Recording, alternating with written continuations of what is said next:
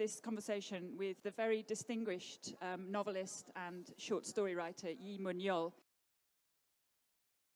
어, 방금 그 소개해 주신 것처럼 어, 제 아버지가 제가 어릴 때 어, 월북한 것이 사- 삶의 그 여러 가지로 영향을 미쳤습니다. 어, 아시아 이 전제 국가들의 그 형벌 중에서 어, 자기가 지은 죄가 아니고 자기 아버지나 조상이 지은 죄 때문에 그 자식한테 여러 가지 그 제한과 박해가 가는 것이 있는데 어, 한국에서는 한국 전쟁이 끝난 뒤에 어, 그런 그 옛날에 그 연좌제라고 하는 그 제도가 어, 시행이 되는 바람에 그것이 아마 내 인생에 많은 변화를 줬을 것입니다. You've have you've just introduced me earlier, and as you said, it is true. My father fled to North Korea during the Korean War, and that has really impacted me and my fiction in numerous ways. Um, I think this is a system found in many Asian countries with a particularly authoritarian system. But what it is is there is a guilty by association law, where if your father or your grandfather committed treason or any other crime against the state, you yourself is automatically guilty and charged as well. And in Korea, after the Korean War, we had unfortunately a similar system enforced upon us by our law, and that has negatively influenced me in some way. 연좌제 하에서 겪었던 어떤 그 가치 박탈이나 혹은 그 억압 같은 거 어, 이런 것들이 아마 작가로서 내가 하고 싶은 얘기에 중요한 부분이 되었고 어, 지금 말 소개하신 그 작품들을 어, 그것들도 어, 결국 이제 어, 소설로 봐서는 주제가 되는 셈인데 어, 결국 그 주제의 중요한 부분이 어, 그런 내가 경험했던 그 연좌제의 그늘 뭐 이런 것들이 되어서 아마 어, 그렇게 읽히는 것 같습니다. 그러나 뭐내제 문학의 전부는 아니고 아마 한 그저 3분의 1 정도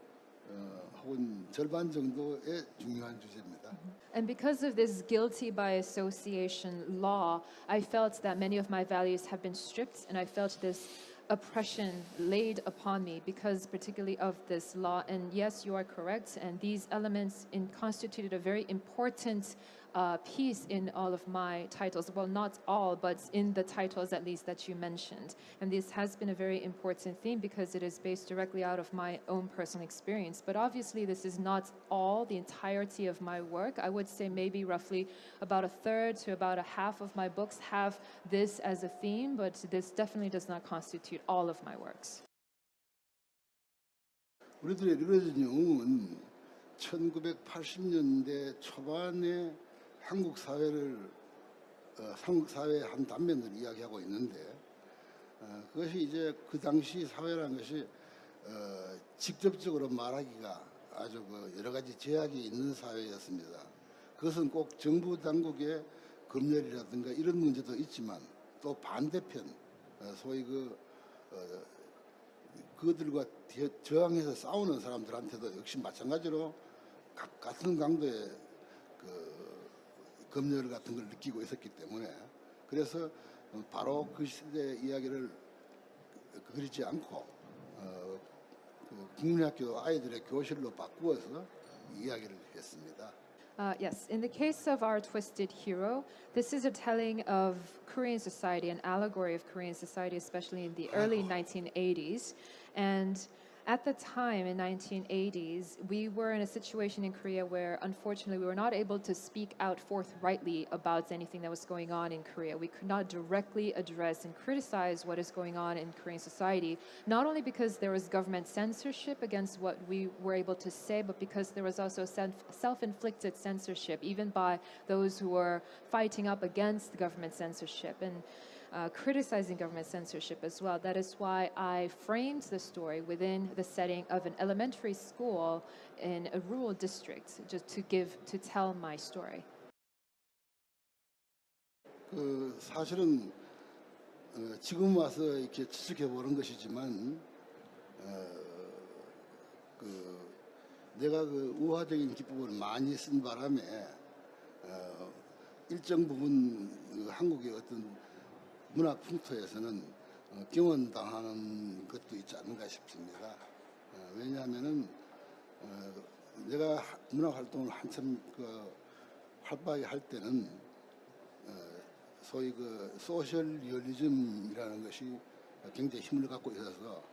어, 그들한테는 이런 아, 알레고리적 수법이라는 것이 어, 좀 탐탁지 않게 어, 받아들여진 것 같습니다. And now, when I had the chance to reflect upon what I did in the past, now that I come to think about it, I feel that our Twisted Hero used drew so much from allegory and allegoric elements that at the time it wasn't really construed seriously by uh, the literary circles in Korea because um, at the time it was social realism that was the pervasive mood for the literary circles, and therefore the people who drew upon allegory to write their fiction were not really taken that seriously at the past.